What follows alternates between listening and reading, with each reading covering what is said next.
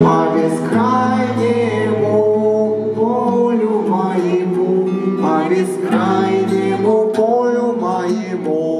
Мама гитариста Андрея, Калима Веллер, представила вместе с сыном разнообразные творческие изделия на выставке. Тонкую вышивку с русскими мотивами, а также пуховую паутинку. Андрей увлекается не только игрой на музыкальных инструментах, гитаре и казахской дамбре, но и вышивает из бисера. Вот эта работа у него любимая потому что музыкальные инструменты вышиты просто бисером, и он придумал натянуть струны сверху просто обычной ниточкой. И сегодня выступать будут ребята первой группы недееспособные, то есть которые самостоятельно не могут принимать ни каких-то таких решений, ну и тем более самостоятельно выполнить работу им тоже будет проблематично.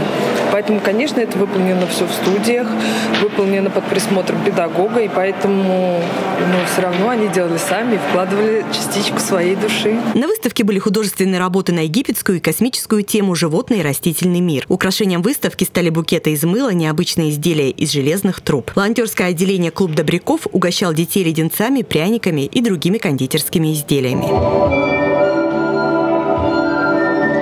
Многие мамы детей-инвалидов отмечают, что часто сталкиваются с родительским выгоранием и считают, что одним из решений мог бы стать Центр дневного пребывания для детей с ментальными нарушениями. В России в 34 регионах уже существуют подобные центры, но в Оренбурге такого, к сожалению, нет. Потому что это на самом деле непросто, да, когда ну, не знаю, ребенок постоянно с тобой, и, соответственно, ты видишь о том, что мало что организовано у нас сейчас в Оренбургской области в плане э, социализации наших детей. В этом году открывается для ребят старше 18 лет новое направление – туристический дизайн. Молодые люди смогут заниматься флористикой. Если вы хотите полюбоваться творческими работами детей, приходите в эти выходные в молодежный центр «Армады» в шестую галерею. Елена Кудаева, Андрей Булатов, городской телеканал ЮТВ.